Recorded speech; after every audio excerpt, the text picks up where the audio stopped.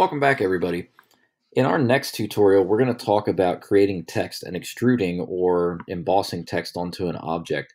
And to do that, we need to create a feature on this. We could just do it on this surface, but since we're trying to make a an object similar to what we would have in real life, we're going to start by creating a sketch on this large face. So once again, top left corner, choose Create Sketch.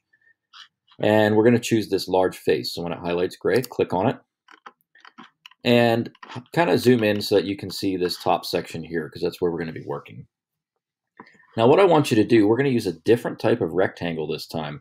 I'm going to go under the Create tab and under Rectangle, you'll notice down here at the bottom it says Center Rectangle. In other words, you choose the center point and then as you move out and up or down and over, it's going to create a rectangle centered around that point. So we choose Center Rectangle and I want to get it in the center of our block. And to do that, I can use the center point of the circle that's already there. So you're going to notice if I start moving around here, see how it sees that circle? When I come down here, it sees a center point. That's a snap. You're not going to click there. You're just hovering for a second. It picks that up like a magnet. And now I have a dotted line when I drag up. I want you to eyeball it in the middle of this region here. So about there, click one time. And now you'll notice that when I move out, and then move up, I've got a rectangle forming. I don't really care what it is that you put in there, all right? Um, if you want to, you could type in a height of 0.25, all right? That's a common dimension. And maybe we could make this, um, oh, why don't we call this 1.25? Oops, if you type in the wrong one, or the right one, excuse me, hit tab first and then 1.25. Then we're going to hit return. Now we've got this rectangle. Now for our purposes, we don't need these two construction lines in here. So why don't you delete them? So right click, delete, right click, delete.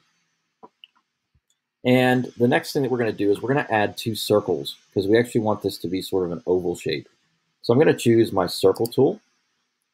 And I want to pick up the midpoint of this short side. So if I move down, I've got my blue triangle, I click once, and then I'm going to slide back up until I hit that endpoint. That makes sure my circle diameter is exactly 0.25, and it says it there, so we're good. And then I'm going to do the same thing over here. So center point, click, move up. I get my uh, snap right there, click again. And now we've got two circles with a rectangle that's intersecting them. This is a great time for us to learn about trimming. So up here in the Modify tab, I've got a pair of scissors, choose Trim. And in Fusion 360, this works very, very well. It's pretty smart. So I'm going to pick up that circle and that line and this circle and that line. And now I've got what I need. I can hit Escape to get out of that tool. And I'm going to go to my big green check mark and select Finish Sketch. Once you've done that, use your Home button to turn it in isometric we're going to cut this feature in just a little bit. So we're going to go in here and choose extrude, just like we did with the hole. Choose extrude, select that oval shape, and you could either drag it in or we can cut it in. I want to go in about, let's make our distance 0.070.